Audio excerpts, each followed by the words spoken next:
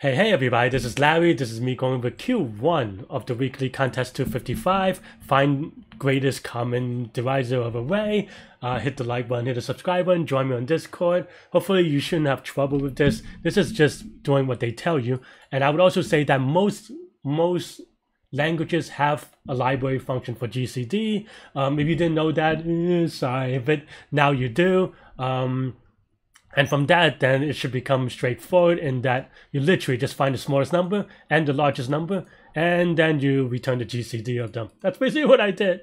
Uh, how long did I do? I did in 54 seconds. I probably could have done it a little bit quicker. That's actually slower than I thought. Um, but yeah, so this is going to be linear time because finding the min and the max is linear. This is O of 1-ish, depending, you know, O of 1 for fixed length integers. So yeah, uh, that's all I have for this one. I don't know what to say. If you don't know, if you don't have a library function, you can actually implement this. And if you have to, you could just Google it. Um, but I, I can't imagine GCD is an interview anyway.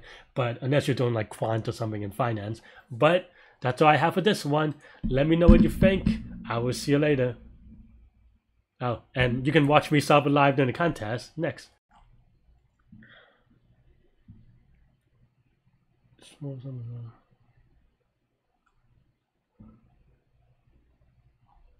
Mm, that's weird. Okay.